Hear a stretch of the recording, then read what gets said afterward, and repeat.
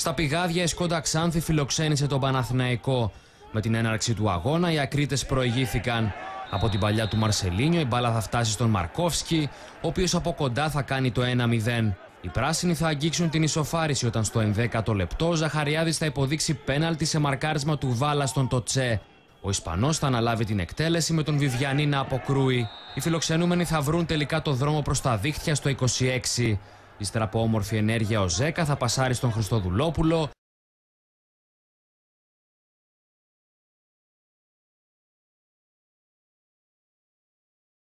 Και αυτός θα ισοφαρίσει σε 1-1. Ο Έλληνας Άσος θα καταφέρει να δώσει το προβάδισμα στον Παναθηναϊκό στο 21ο λεπτό. Με όμορφη τρίμπλα θα ελευθερωθεί, πλασάροντας πανέξυπνα για το 1-2. Στο δεύτερο μέρος, ο ρυθμός του αγώνα έπεσε αποτέλεσμα και της πιο συντηρητικής προσέγγισης του Παναθηναϊκού. Γκολ του Τοτσέα ακυρώθηκε ως offside στο 51, με την Ξάνθη να αναλαμβάνει από εκεί και έπειτα πρωτοβουλίες.